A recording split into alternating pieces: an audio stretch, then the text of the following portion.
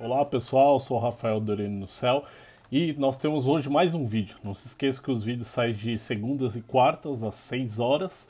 E, mas nessa quarta a gente vai. Eu vou, vou postar o vídeo, só que a gente também vai gravar ao vivo. Olha lá. A gente vai fazer no Mar de Café uma palestra. A gente vai chamar o professor Luiz.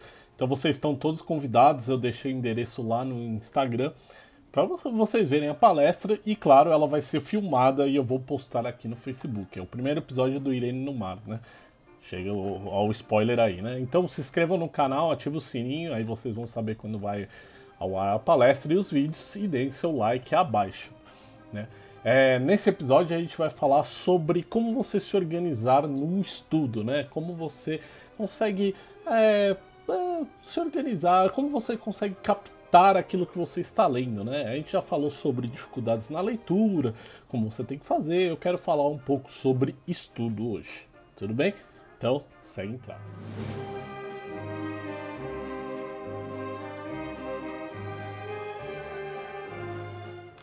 É, muita gente tem até que é, facilidade em ler, lê bastante, etc. Mas não tem tanta facilidade em estudar, né? Como você se organizar, como você absorver aquilo que você está lendo, né? É, bom, é, quando você se organiza para estudar, você tá o seu livro lá, etc. Né? E você precisa de um espaço, né? É, alguns gostam de fazer na biblioteca. Eu mesmo, eu sempre estudei em casa, né? Eu sempre gostei de estudar em casa, porque eu sempre tive essa concentração em casa, mas nem todo mundo tem. Todo mundo fala, nossa, em casa eu vou procrastinar a vida, né? E é verdade, alguns, algumas pessoas procrastinam muito, então elas não conseguem é, é, produzir, né? Então, beleza, escolhe o lugar lá que você goste, biblioteca, pode ser centro cultural, etc. Vai lá e estuda lá. É, quando você vai lá estudar, você tem o livro que você quer ler, né? É, primeiro, quando você vai ler para estudar, você tem que ler com um objetivo, não só prazer, né? Não vou, vou ler esse aqui. Então você tem que ler falando, oh, o que, que eu quero buscar nesse livro, né? Faça essas perguntas antes, né? Eu quero buscar o quê? É, qual é o meu objetivo, etc, né? É claro, se você nunca leu o livro, como você vai procurar, né? Então, você vai encontrando no meio do caminho. Se você nunca leu o livro, é, primeiro, leia, leia uma vez, etc só de, só de recreação e depois você volta no livro. Né? Depende do tamanho do livro, você não vai conseguir ler três vezes, quatro vezes. Né? O ideal seria isso, mas infelizmente não nos dão esse tempo né, atualmente. Então você vai lá voltar e é, na primeira leitura você vai. Bom, vou anotar junto, né? É, quando você anota o livro, os conceitos, é sempre importante os termos, procurar os termos, né? É, quando você está lendo, vai, vão aparecendo palavras, né? Eu acho que o dicionário é importante, porque você pega a definição da palavra, etc., mas ele não te dá o conceito. Né? O que, que é o conceito? É aquilo que a palavra significa, né? E claro, o conceito ele está relacionado ao texto, né? Ela, o que ela significa no texto que você está lendo. Então tem algumas palavras, alguns termos, né? Melhor dizendo, que são ideais para você ficar anotando, né? Quando você sabe, entende um termo, então você começa a entender o texto, né? Então vai lá, procura um dicionário, procura um dicionário filosófico, que é muito melhor, né? Por exemplo, você encontra é, é, lógica, né? A palavra lógica. Aí você vai lá, o que significa lógica, etc., o que significa no texto. Ah, lógica, ele está dizendo que é isso aqui nesse texto. Então vai lá, você anota. Então, a primeira organização importante são os termos, né? A próxima organização importante são os é, o fichamento, né?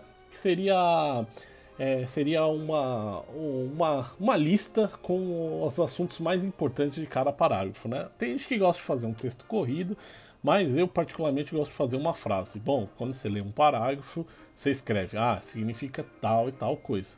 Né? Se você acha que se você não entendeu e é normal, você põe um ponto de interrogação. Eu acho que significa isso. Será que é isso? É bom você implantar as questões, né? Quando você estuda, vai aparecer um monte de perguntas. Você vai ficar mais confuso do que entender o, o texto. Mas é nessa confusão que você vai evoluindo e vai conseguindo trabalhar, né? Nisso juntamente, né? Então, quando você faz esse fichamento, fazer polícias, etc., você consegue é, absorver melhor o conteúdo, né? Ele começa a ficar mais preso à sua mente, né? Então, escreva junto enquanto você está estudando, é sempre importante. Vai lendo, vai anotando os termos primeiro, depois vai fazendo fichamento, né? Vai fazendo, ah, esse parágrafo significa tal coisa, ah, o autor disse tal coisa. Então, você vai entendendo o que ele, que ele vai estudando, né? Na primeira aproximação de um livro, você sempre tem que falar, ah, bom, o autor quer dizer isso, não importa a sua opinião, né? É, você só vai começar a é, tentar trabalhar com as opiniões do autor, né? Ah, as opiniões não, os, os, as, os argumentos do autor, né? É a partir do momento que você entender muito bem o texto, né? Depois é uma terceira, quarta lida, né? Não falar, ah, não, não concordo. Não é bem assim, né? Vai lendo, vai, vai entendendo, lê o livro inteiro, fala, ah, tá, é sobre isso, etc. Então, meio que no, na primeira leitura você fala, ah, o autor disse isso, ponto, né?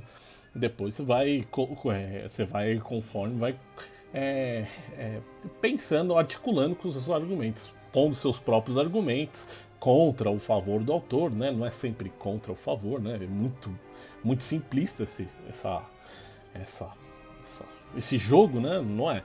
É, mas você vai trabalhando junto com os argumentos do autor para formar seu próprio argumento, né? Então, conforme. Mas no começo, na primeira leitura, vai tentando entender o que ele disse, o que ele disse, etc. Né? É, a segunda importante é saber de onde é o autor, né? É, muita gente não pega a biografia do autor, não tenta entender de qual momento ele é, né? Mas, por exemplo, se você pega um autor de poeta romântico, você entende todo o período, né? É claro que o, os poetas não vão se encaixar naquele modelo, né? Não vão vai certinho assim no modelo e vai ficar tudo bem. Mas é, você tem uma certa noção de do que você, em que terreno você está, né? Por exemplo, se você pega um filósofo modernista, um filósofo medieval, ah, tem que entender o que mais ou menos é a filosofia medieval. Então vá, procure todo o contexto que está envolvendo o autor. Não precisa ser muito complexo, porque você não vai fazer uma tese, né? Provavelmente, né? For, eu não vou fazer um vídeo sobre tese, né, gente? Eu vou fazer sobre o estudo de colégio, em cursinho em graduação, né? É, Pós-graduação é outra história, né? Depois a gente faz um vídeo sobre isso.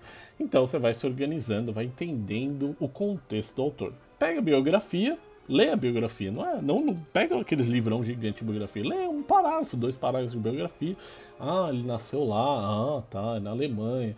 Bom, é, na, na Prússia, na Prússia tinha aquele rei lá, o imperador. É, é, então, ah, entendi. Ele tem uma conexão é, é, importante você saber disso, né? Embora o pessoal negligencie um pouco isso, é importante porque você já tem uma certa base do que você está pensando, falando, de um pensamento do autor mesmo, né?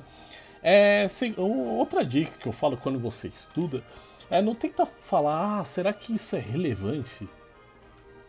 Não, não, essa pergunta não existe. Será que é relevante hoje em dia? Não. Quando você lê, você não vai pesquisar, ah, isso aqui não serve mais, isso aqui não serve mais. Você não sabe, você não sabe. Porque a, o pensamento humano muda toda vez, né? Então, é, quando você lê, tenta entender, é, passar o que, como o autor veria o nosso, o nosso tempo, né? Então, ao invés de você ser arrogante, né, e falar, ah, isso aqui não serve mais, não, não. Tenta entender o que aquilo que você acha que não serve mais serviria hoje em dia, como seria hoje em dia, né? Então você consegue trazer esse autor antigo, por exemplo, medieval, para a sua realidade, né? É claro, tenta, não, não, não cria um anacronismo, né? Não estou falando para criar um anacronismo, mas traga ele mais próximo de você.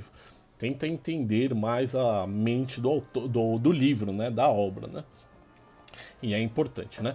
É, sobre isso. Então, essa é uma outra dica, né? Uma dica final que eu, que eu posso dar sobre estudo é, às vezes, é, é bom parcelar os estudos, né? É, por exemplo, você estuda um pouquinho ali, estuda um pouquinho aqui. Tem gente que gosta de estudar 4, 5 horas por dia. Por exemplo, eu não consigo estudar tão seguido assim, né? Então eu faço, por exemplo, eu estudo uma hora, estudo duas horas, eu paro um pouco, descanso, eu deixo absorver, né? É deixar absorver. Esse é o mais importante um estudo. Esse é o mais importante. É, o que é deixar absorver? Você entender e se tornar parte de você aquilo que você está lendo. A gente, quando lê, por exemplo, no cursinho acontece muito isso, né? Que a gente é meio afastado, né? Da, daquele assunto, é meio que a gente decora aquilo lá e, e, bom, aquilo não faz parte da nossa vida. A gente desliga depois que termina o cursinho. Não, tenta tornar aquele estudo parte da sua vida, incorporar com você. Você pensar isso depois que você está estudando, né? Então, se você estuda durante muito tempo, você vai estar muito cansado e você não vai conseguir absorver, né? Então, parcela um pouco, não, não se mata de estudar, né?